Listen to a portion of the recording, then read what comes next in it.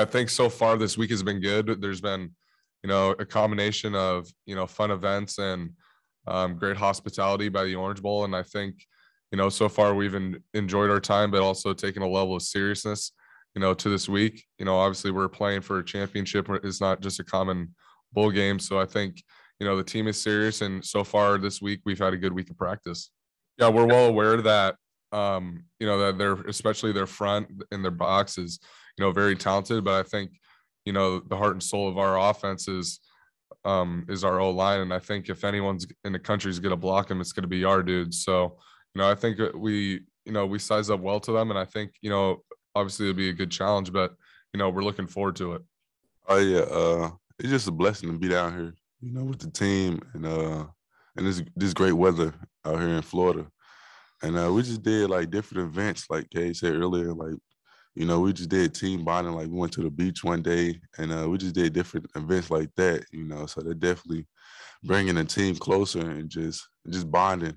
You know, as you mentioned, this team is a super close knit team. We we really enjoy being with each other, and I think this week has done nothing but you know help us grow in that fashion. We've you know, as H2 mentioned, that we've done a lot of events. We've, you know, spent a lot of time, whether that was the beach or um, in the game room. And I think, you know, truly these dudes, you know, really enjoy being around each other. And I think, you know, as we're coming up to, you know, the last month of our season, you know, we're trying to make the most out of those moments because, you know, obviously this team will never be the same after this. His demeanor has been, you know, serious.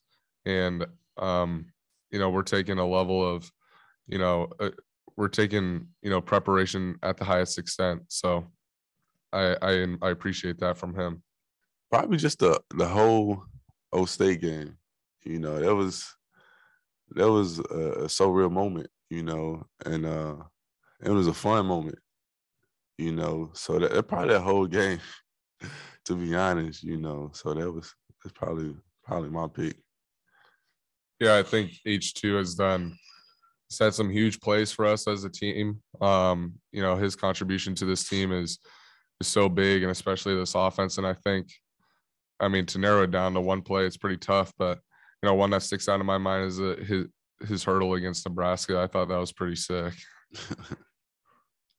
hey, most definitely. Uh, you tell us stay stay hydrated. You know, drink water, and uh, and we just in practice we just get in that um, just try to try to get used to the weather and the humid and all that and things like that.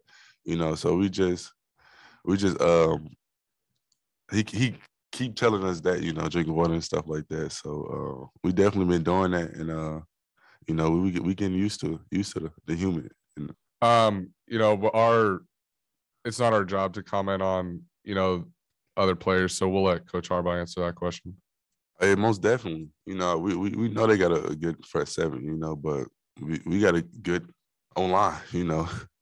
so uh, it's gonna be a fun physical game, you know. And I, I, like them type of games, you know. So it's gonna determine who who want who want it who want the game the most, you know. So uh, we're gonna see on Friday.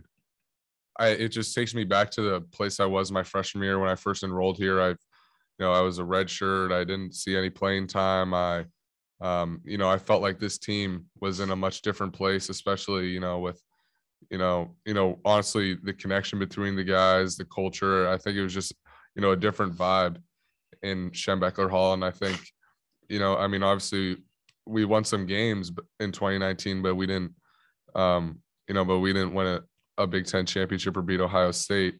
And I think, you know, when I think of those who say we'll be champions, I just think of how far, you know, this program has come in the last two years um, especially following last season. What a disappointment that was, and um, you know, it feels good that you know we can say that phrase with confidence now.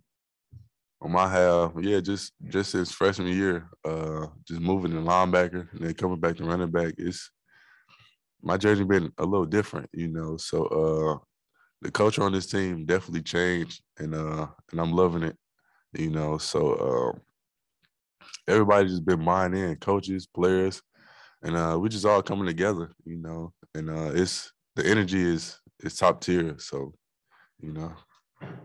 Honestly, I really think it was the players. You know, the leaders on this team had had enough, and we knew that something had to change following last season. That we had to be different. We had to, you know, we had to change the way we were doing things, whether we thought, you know, that we were too cool or whatever the whatever the reasons were.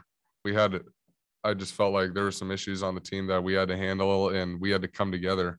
And um, I really think you know it's been mentioned that this team is really player driven, and I think that's true. That you know the guys on this team care about you know what this team looks like, what this how this team carries itself, and the combination of the change that Coach Harbaugh wanted to make. I think it has created a result and a really great culture that we have here. Yeah, to add that, like Cade said, uh, the team is pretty much player driven, and uh, and the coaches buy down with that, you know. So um, the coach has just been great, you know, and uh, Cade pretty much explained it all. so